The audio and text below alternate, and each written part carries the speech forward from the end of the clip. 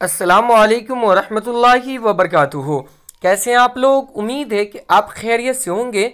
मैं हूँ सरफाज आलम और आप देख रहे हैं इस्लामिक ज़िक्र। नाजरीन, रमज़ान शरीफ का मुबारक महीना चल रहा है। यह महीने में बहुत ही बाबरकत और कमाल का महीना है। यह महीने में बहुत सारी चीज़ें आपकी ज़िंदगी की बदलेगी। अगर आप अमल आप इबादत अल्लाह तबारक व ताली की करते हैं तो जो वजीफ़ा आज मैं आपको बताऊँगा, किसी भी नमाज़ के बाद आपको पढ़ना है सिर्फ़ एक दफ़ा, यानी हर नमाज़ के बाद अगर आप एक एक दफ़ा पढ़ लें, उसके बाद आपकी किस्मत और ज़िंदगी संवर जाएगी। वो कैसे मैं आपको इस वीडियो के अंदर बताऊँगा, क्योंकि बहुत ही पावरफुल और कमाल का अमल है। कुरानी अमल है, छोटा सा वजीफ़ा है।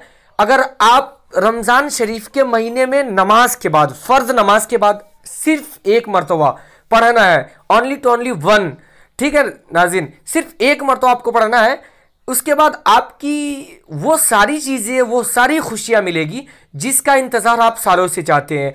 इन शाह तबारक वाली वो कैसे मैं बताऊँगा, लेकिन उससे कबल अभी तक आप मेरे चैनल को सब्सक्राइब नहीं कर पाए हैं तो आप मेरे चैनल को सब्सक्राइब कर ले, साथ में बेलाइकन को दबा दे ताकि मेरी वीडियो आप तक सबसे पहले पहुँच सके।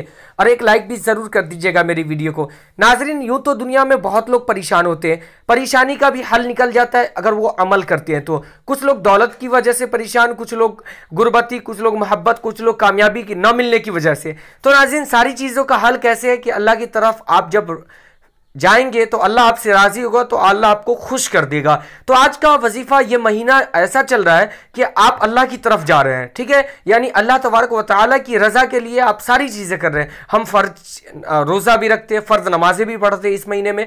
यानी सारी चीज़ें करते हैं। नमाज़ तो हमें पूरे साल पढ़ना चाहिए, लेकिन इस महीने में लोग ज़ोरों शोर से अल्लाह तबारक व ताली की इबादत करते हैं, क्योंकि रहमत भरा महीना है। तो जब हम अल्लाह की तरफ़ फिर रहे हैं तो क्यों नहीं ज़्यादा से ज़्यादा अल्लाह से मदद मांगे। तो करना क्या है कि किसी भी नमाज़ के बाद आपको करना है मसलन जोहर असर मगरिब इशा फजर किसी भी नमाज़ के बाद करना है। जो लोग परेशान रहते हैं उनके लिए ये खासकर वजीफ़ा है।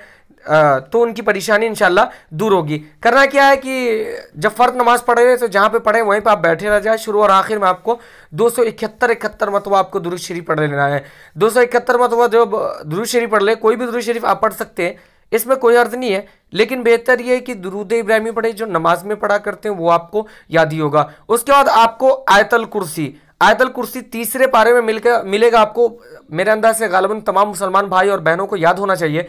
यहाँ से ला ताखुजुहु सिनतु वाला नौम। मा अर्ग मंजल इंदहु इल्ला बिइज़निही यालमु मा बैना अयदिहिम। वमा खलफ़हम वला युहीतून बिशैइन इल्ला बिमा शाह वसिया कुर्सीयुस्समावाति वल अर्द वला यउद्दुहु हिफ्ज़ुहुमा व हुवल अलीयुल अज़ीम नाज़रीन, इसको सिर्फ़ एक मरतबा पढ़ना है, फिर 271 मरतबा दुरूद शरीफ पढ़ के अल्लाह की बारगाह में दुआ के लिए हाथ उठाना है।